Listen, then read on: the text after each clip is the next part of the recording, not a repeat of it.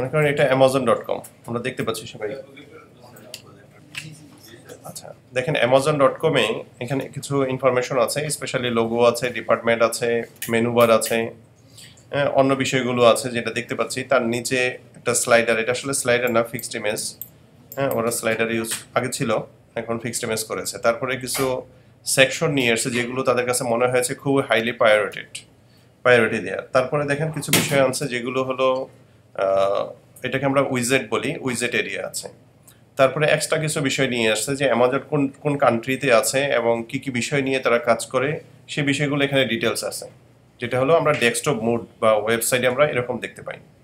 যদি সেম সাইটটা আমরা মোবাইলে চলে যাই, তাহলে কীরকম আসে আমরা একটু দেখি। মোবাইলে যদি আপনি যান লোগোটা আছে, কিন্তু লোগোর প্লেসমেন্টটা চেঞ্জ হয়েছে। এখানে ছিল সার্সের লেফট সাইডে আর এখানে হলো সার্চের উপরে চলে আসছে এবং এই ডান পাশে যেটা আছে কার্ড এবং সাইন ইন বা ইউজারের বিষয়গুলো, এগুলো টপে আনা হয়েছে। এর লজিকটা হলো, যেহেতু মোবাইল ডিভাইসটা আসলে ছোট হয়, স্ক্রিনটা ছোট হয়, এখন যদি পাশাপাশি রাখা হয় সার্চটা কি হবে? ছোট হয়ে যাবে। এই জায়গায় যদি আমি সার্চটা রাখি, তাহলে আসলে অত বড় দেখা যাবে না। আর ই কমার্স সাইটের কিছু কন্ডিশন আছে। ই কমার্স সাইটের আসলে মুখ্য হলো সার্চ মনে করেন থাউজেন্ডস অফ প্রোডাক্ট আছে। সেই প্রোডাক্ট আপনি ডিপার্টমেন্টে যাবেন, তারপরে খুঁজবেন কোন ডিপার্টমেন্টে আছে, এটা আসলে সম্ভব না। তার থেকে বেটার হয় সেটা হলো আমি ইনস্ট্যান্ট সার্চ দিলাম যে আমার এই জিনিসটা দরকার, আমার একটা ক্যামেরা দরকার অথবা আমার একটা ল্যাপটপ প্রয়োজন। আমি সার্চ দিলে আমি সেটা ইজি পাচ্ছি। তো ই কমার্স সাইটে যেহেতু থাউজেন্ডস অফ প্রোডাক্ট থাকে, সেই ক্ষেত্রে সার্চিং ইজ দ্য বেস্ট কি মানে এই কিটা থাকতেই হয় সার্চিং এর জন্য। সো মোবাইলে যখন যাচ্ছে, তখন সে কি করেছে? প্রায়োরিটি দিয়েছে সার্চিং এর। যার কারণে সার্চটা অনেক বড় রেখেছে। তারপরে কি করেছে যদি দেখেন যে ডিপার্টমেন্টগুলো সেই ডিপার্টমেন্টগুলো কিন্তু রেখেছে। তারপরে আদার্স যে বিষয়গুলো আছে, কিছু জিনিস চেঞ্জ করেছে প্লেসমেন্ট চেঞ্জ হয়েছে। মানে এখানে যেরকম আছে, এখানে কিন্তু একই রকম নাই। কিছু, কিছুটা চেঞ্জ হয়েছে প্লেসমেন্ট তারপরে যে আমরা নিচের দিকে যাই অলমোস্ট বাকি জিনিসগুলো সিমিলার আছে। এখানে সাইন ইনটা নিয়ে আসছে। কারণ সাইন ইনটা আসলে মুখ্য একটা বিষয়, কিন্তু এখানে সাইন ইনটা ওইভাবে নাই। এখানে সাইন ইন আছে কার্ড আছে ক্রিয়েট অ্যাকাউন্ট কোথাও আছে। এই যে অ্যাকাউন্ট আছে সাইন ইনটা ইনসাইডে করেছে। কিন্তু মোবাইলে এসে সাইন ইনটা চেঞ্জ করেছে, এটা ফ্রন্ট এন্ডে নিয়ে আসছে। তারপরে দেখেন বাকি সেকশনগুলো কিছুটা চেঞ্জ করেছে, কিন্তু মোস্ট অফ দ্য টাইম আসলে একই রকম থাকে। বেশিরভাগ সময় একই রকম থাকে, যেখানে সাইন ইনটা sorry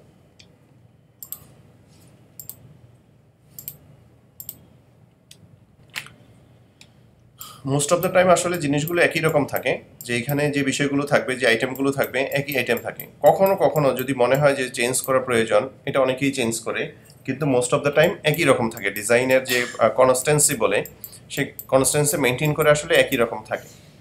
কিন্তু কখনো যদি মনে হয় যে না, আসলে এটা ডিপেন্ড করে ওয়েবসাইটের অনারের উপরে, সে যদি মনে করে না, আমি মোবাইলে একরকম ভিউ করব ডেস্কটপ আর একরকম ভিউ করব, সেটা ডিফারেন্ট হতে পারে। কিন্তু এজ এ ডিজাইনার আপনি যখন ডিজাইন করবেন, দুইটাকে সিমিলার করবেন। ডেস্কটপ মোডে যে আইটেমগুলো থাকবে, যে কন্টেন্টগুলো এখানে রাখা হয়েছে সেম জিনিসগুলো আপনি মোবাইলে ডিজাইন করবেন। এটা হলো বেস্ট ওয়ে তারপরে যদি ইউজার অথবা ক্লায়েন্ট যদি সেটা চেঞ্জ করতে চায়, সেটা তার পার্সোনাল ইস্যু তারপরে আরও কিছু পয়েন্ট দেখেন আপনি, যেটা আছে, যে এখানে দেখেন আমরা উইজেটগুলো দেখতে পাচ্ছি উইজেটগুলো ওরা মিনিমাইজ করেছে, আছে, কিন্তু মিনিমাইজ করেছে।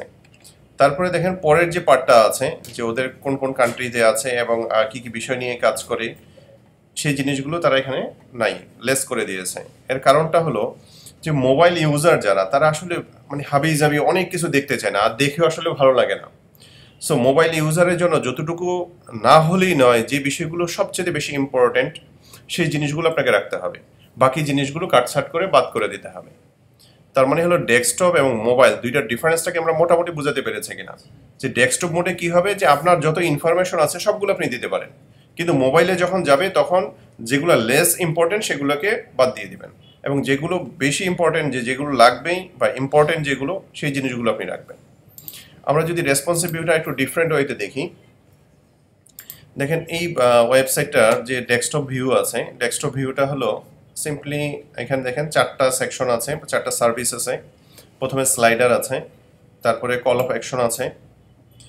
হ্যাঁ তারপরে আরেকটা কল অফ অ্যাকশন আছে, তারপরে হয়তো কিছু সার্ভিস নিয়ে কথা বলেছে, তারপরে ব্র্যান্ডস আছে, তারপরে এটা সম্ভবত ব্লগ অথবা সার্ভিসও হতে পারে, তারপরে টিম নিয়ে কথা বলেছে, এরকম অনেকগুলো সেকশন আছে।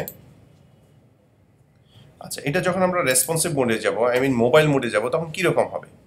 দেখেন মোবাইল মোডে এনে যে কাজটা করা হয়েছে, ছবিটা আসলে এখানে ইম্পর্টেন্ট মনে হয়নি। যে ডিজাইন করেছে, তার কাছে মনে হয়েছে ছবিটা আসলে ইম্পর্টেন্ট না।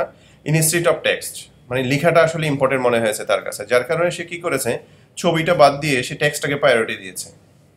কখনো কখনো এরকম হয়, কোনো ডিজাইনার বা অনেক কাজের উপরে ডিপেন্ড করে কন্টেন্টের উপরে ডিপেন্ড করে, কখনো যদি মনে হয় যে ছবিটা খুব বেশি প্রায়োরিটি সেক্ষেত্রে কি করে কন্টেন্টগুলোকে রিমুভ করে দেয়।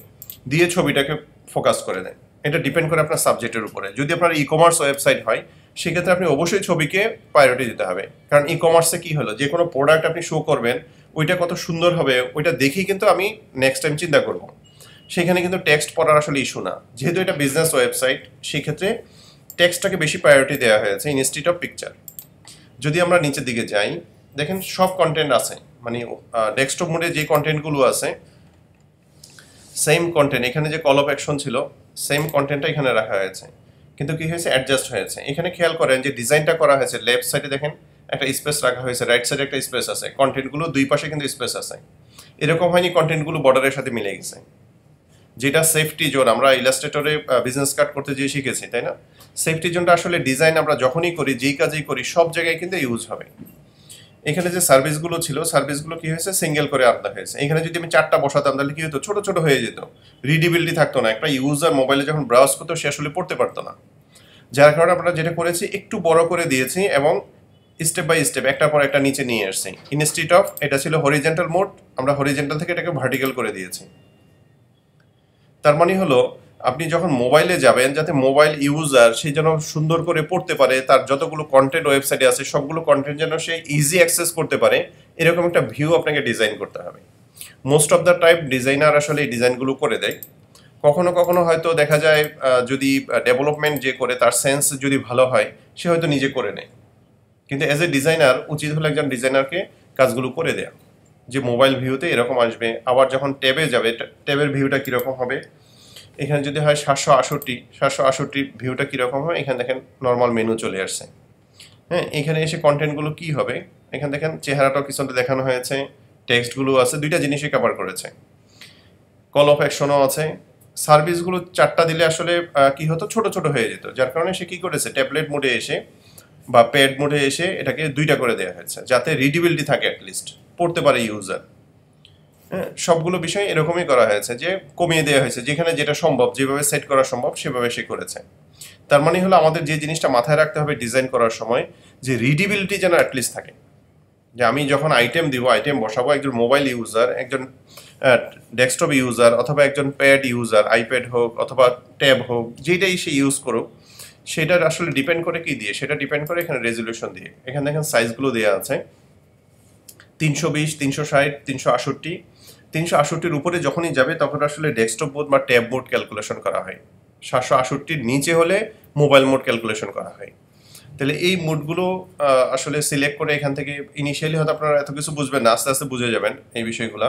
কাজ করতে করতে আসলে এক্সপিরিয়েন্স তৈরি হবে। তো এইটুকু মনে রাখেন যে সাতশো আষট্টির নিচে যে সাইজগুলো আছে, সবগুলো হবে মোবাইলের জন্যে। সাতশো আষট্টি থেকে হবে ট্যাবের জন্যে। এরপর থেকে যেগুলো যাবে, ট্যাব, তারপরে ডেস্কটপ থেকে কাউন্ট করা হবে এই বিষয়গুলো। তাহলে আমরা যে জিনিসটা এখন মোটামুটি বুঝলাম, দুইটা কম্পেয়ার করে যে ডেস্কটপ বোর্ডের কিছু কিছু কাজ আছে যে জিনিসগুলো আসলে হুবহু আমরা রাখতে পারি মানে কন্টেন্ট সেম রাখব, কিন্তু রিডিবিলিটি মেনটেন করব। যদি মনে হয় যে আমার একটা আইটেম দিলে সেখানে রিডিবিলিটি সুন্দর হবে তাহলে আমরা একটা করব। যদি মনে হয় যে দুইটা দিলে রিডিবিলিটি থাকবে দেন দুইটা দিব। আর লেস যে বিষয়গুলো থাকবে লেস ইম্পর্টেন্ট যে বিষয়গুলো থাকবে, সেগুলো আমরা চাইলে রিমুভ করে দিব। তাহলে এই দুইটা বিষয় হলো বেসিক্যালি রেসপন্সিভের জন্য আমরা খেয়াল করব।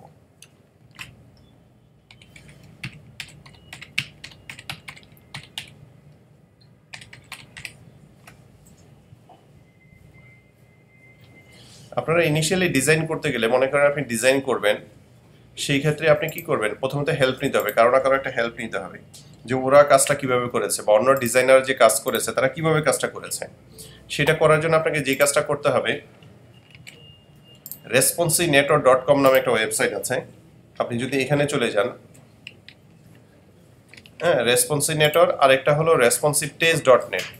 এই দুইটা ওয়েবসাইট যে কাজ করে আপনাকে হেল্প করবে যে কোনো স্ক্রিন সাইজে। এখানে অনেকগুলো স্ক্রিন সাইজ আছে। একটা হলো আপনার আইফোন ফাইভের তিনশো বিশের রেজুলেশন আছে। এটা আবার পোর্ট্রেট করে দেখিয়েছে। মানে এটা যদি আপনি ল্যান্ডস্কেপ করেন, কীরকম দেখা যাবে সেটাও দেখিয়েছে। এটা রেজুলেশন কত আসবে? হ্যাঁ এখানে অনেকগুলো সাইজ আছে। যে সাইজগুলো আপনাকে সবগুলো সে দেখিয়ে দিচ্ছে।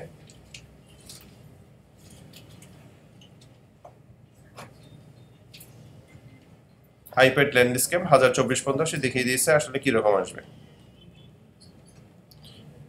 রেসপন্সিনেটর ডট কম আরেকটা আছে সম্ভবত responsive test dot net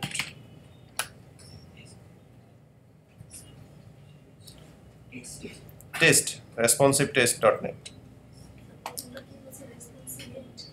responsive নেটর আমি দুইটা লিঙ্কই আপনাকে একটু বড় করে দিয়ে দিচ্ছি, একটু পরে, তাহলে আপনারা লিখে নিতে পারবেন। আমি আগে দেখিয়ে নিই বিষয়গুলো, কীভাবে কাজ করে। এখানে যখন আপনার সাইটটা আসবে, মনে করেন আপনি এখানে কোনো একটা সাইট দিয়েছেন, তখন আপনার এখান থেকে ডিভাইস সিলেক্ট করতে পারেন। আপনি কি মোবাইলের জন্য দেখবেন? আপনি কি ট্যাবের জন্য দেখবেন? আপনি কি ল্যাপটপে দেখবেন? ল্যাপটপের আবার স্ক্রিন সাইজ আছে। এগারো ইঞ্চি ম্যাকবুক এর কেমন দেখাবে? তেরো ইঞ্চিতে কীরকম দেখাবে, পনেরো ইঞ্চিতে কীরকম দেখাবে, রেটিনাতে কীরকম দেখাবে, এরকম দেয়া আছে। ডেস্ক ইভেন ডেস্কটপে দেয়া আছে, যে ডেস্কটপ সাইজে আবার অনেকগুলো রেজুলেশন হয়।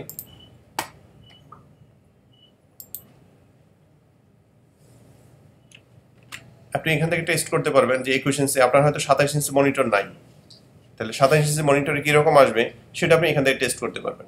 সাতাশ ইঞ্চি মনিটর এখান থেকে সিলেক্ট করেন ডিজাইন আছে অলরেডি এখন এই দেখেন, সাতাশ ইঞ্চি মনিটরে গেলে কীরকম আসবে?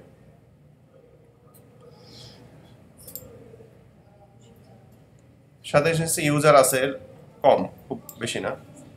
সাতাশ ইঞ্চিতে গেলেও ডিজাইনটা খারাপ লাগবে না। আমরা এভাবে ডিজাইনটা করেছি। হ্যাঁ সাতাশ ইঞ্চিতে গেলে এরকম দেখাবে।